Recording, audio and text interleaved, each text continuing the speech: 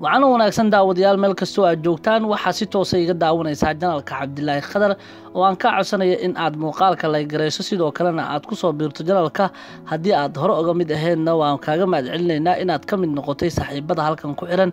Balse waxaan kaa codsanayaa muuqaalka inaad layg saarto waana ku mahadsan tahay daawashada. Muuqaalkan daawadayaal waxaanu ku eegi doonaa ilaa iyo toban dhacdo oo markaa dhacdo oo dhanka bowlwoodka ah markaa qabsatay xidigo waaweyn dhacdadan waxa ay tahay in dharbaaxo markaasi lagu dhufto qof atoryaal ayaa la dharbaaxay atrishooyin ayaa iyagu wax dharbaaxeen. Marka waa dhacdooyin aada u xiiso badan. Maxaad kala socotaa tobanka dhacdo ee ugu xusuusta badan dhanka shirkadda bowlwoodka marka ay noqoto dhanka dharbaaxada. Haddaba isku soo dhowaada muuqaalka layginoo saar la wadaag saaxiibadaada inta badan jilayaashu waa ay xanaaqaan. Xanaaqoodana waxaa ka dhasha is-afgarad iyo isgacandhaaf waa is-afgaranwaa iyo isgacmo dhaafsi. Waxaan oola jeedaa in uu markaa dhaco gacanqaad waali ah oo aan la xakamay karin.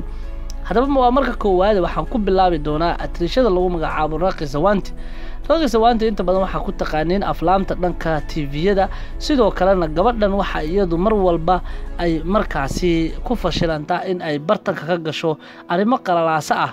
Bowlwoodka ayay ka soo muuqataa barnaamijyo kala duwan sida barnaamijka big bos qeybtiisa shan iyo tobanaad ayaa haatan ku jirta. Naaja baaliya ayay hore uga soo qayb qadatay oo ah barnaamij lamaane oo la wada jaasayo. Hase ahaatee maxaad kala socotaa dhacdadii la yaabka laheyd ee ku ay kala qabsatay? Iyadii wiilkii gacaliyaheedii hore ee abisheekh awesti haddaba taasi waxay ka mid tahay dhacdooyinadii bowlwoodka sida weyn loo hadalhayo. Waxay ku beegneyd wakhti ay dhacaysay maalinta valentin dayska. Abisheekh waxa uu aaday deegaan ay degan tahay raqi ama haddii aan si kale u dhigo guriga raaqi sawanti halkaas waxa uu tegay in uu ubaxyo u geeyo. Sidoo kalena bombale tom anjeri ah ayuu markaasi u geeyey oo ay aada u jecleed si xaaladooda markaa u xaliyo waxaa sidoo kale ninkan abisheekh uu casuumay warbaahin si ay markaa u tabiyaan dib u midoobidooda isaga iyo raaqi sawanti oo markaa kala haray. Markii uu jilbaha dhigtay ayuu raaligelin u soo jeediyey balse raqi inta ay xanaaqday ayay markaa dharbaaxa ku dhufatay. Sidoo kalena sakuuradka ama markaa ciidamadii gurigeeda ilaalinaya ayay ku khasabtay in ay bannaanka u tuuraan. Maxin makasin waa nin fanaan ah sida aad wada taqaaniin. Dhanka bowlwoodka heesaa baley baaga ayuu qaadaa. Waa fanaan singar ah oo reer bunjaabe oo caan ka ah waxaana uu yahay shakhsi leh dabeecad aada u xun.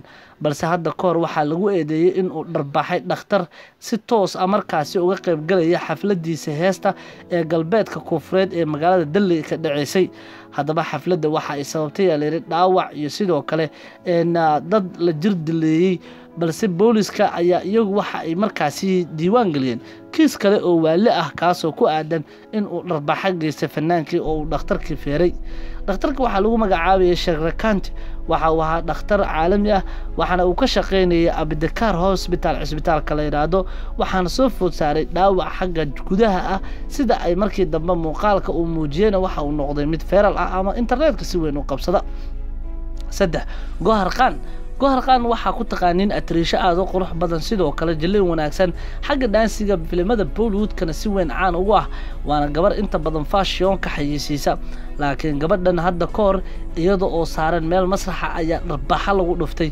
Ninka dharbaaxayna waxaa lagu magacaabayay akiil melig akiil melig waxa uu isagu ku dharbaaxay gabadhan in ay soo xiratay xilli ay taageerayaasheeda hor joogto maryooyin gaagaaban oo cowradeeda bannaanka u soo dhigaya. Xilligaasi waxay duubaysay t v show.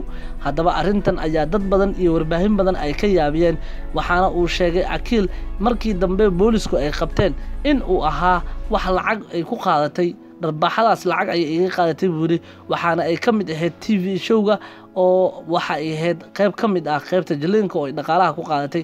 Hase aatee gohar qaan ayaa iyadu diiday war-saxaafadeedkaasi kuna tilmaamtay mid aan bays lahayn dilaaga salmaan qaan ayaa soo qabanaya iminka. Salmaan qaan waxa uu ka mid yahay xidigaha ugu caansan bowlwoodka laakiin sanadii labada kun iyo sagaalkii salmaan qaan waxa uu markaa dharbaaxo kala kulmay gabar ka mid a taageerayaashiisa. Dhacdadan waxay ka dhacday xaflad uu ku qabanayay dalii halkaasoo nin ganacsado ah oo aada looga yaqaano gudaha wadanka indiya gabadhiisa oo lagu magacaabo monika la sheegay in salmaan qaan ay dharbaaxday xilli ay ka qaybgalaysay xaflad qaasa oo isagu uu lahaa. Waxaa la yaab kale waxay tahay salmaan qaan inuu deganaan muujiyey balse uu ku qasbay ciidamadiisa boodhigaariska in gabadhaasi bannaanka loo tuuro oo isaga markaa laga fogay inta uusan markaa xanaaqiisa dib u soo kicin.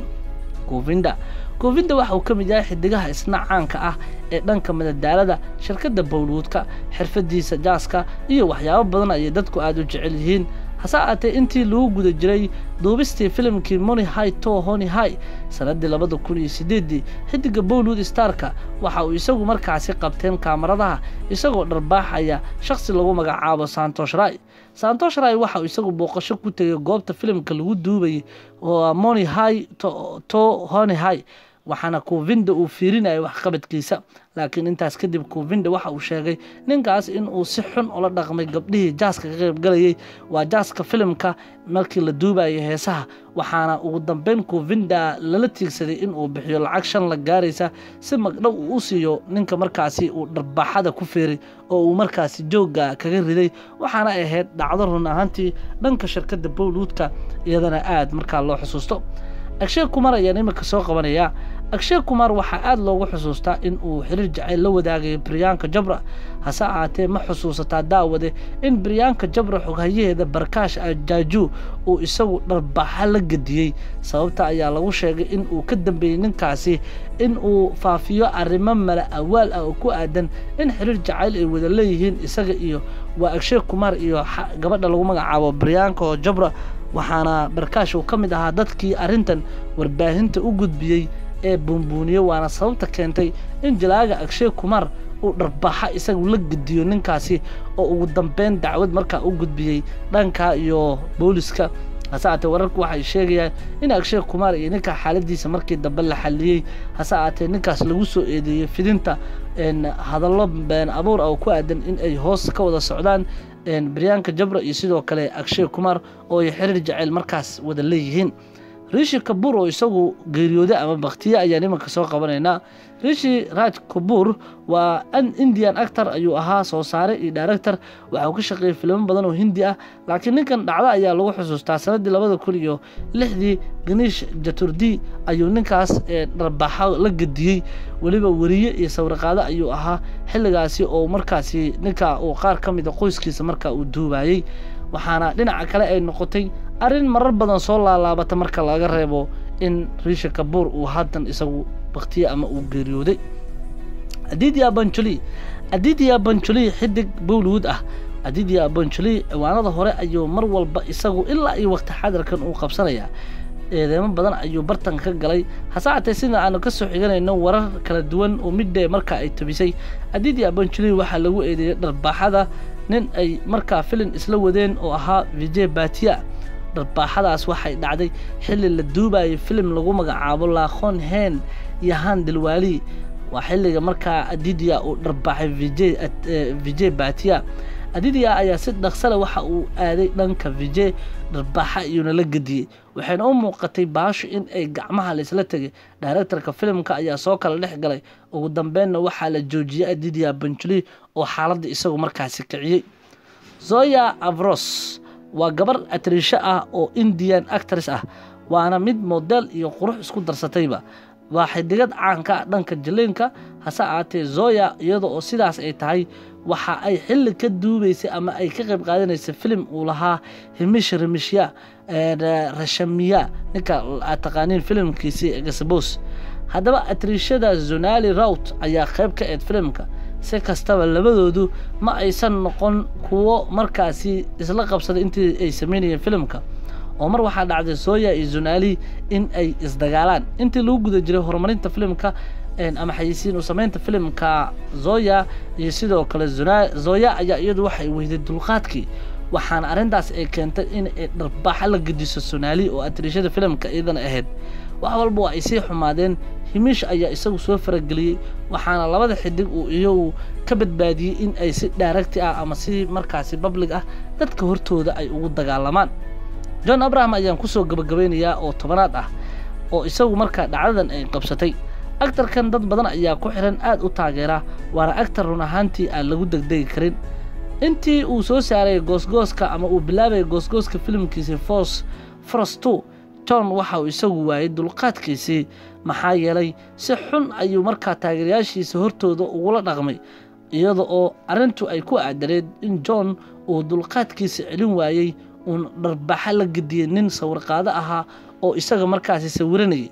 Arrintan taageerayaal badan ayaa ka xanaaqeen ilaa ugu dambeyn dhacdadii la rikood gareeyey ee lala wadaagay muxuu ahaa warbaahinta maxaa yeelay dadka inta badan jilayaasha ah marka babaraasi waxaa la lahaa dadka sawirqaadayaasha ah. Marka sawirqaadayaashu ay dadka caanka ah ay arkaan way daba ordaan gacmiyuu la soo gala marka meesha gacmihii ayuu jiiday. Taasaa keentay inuu dharbaax la gediyo.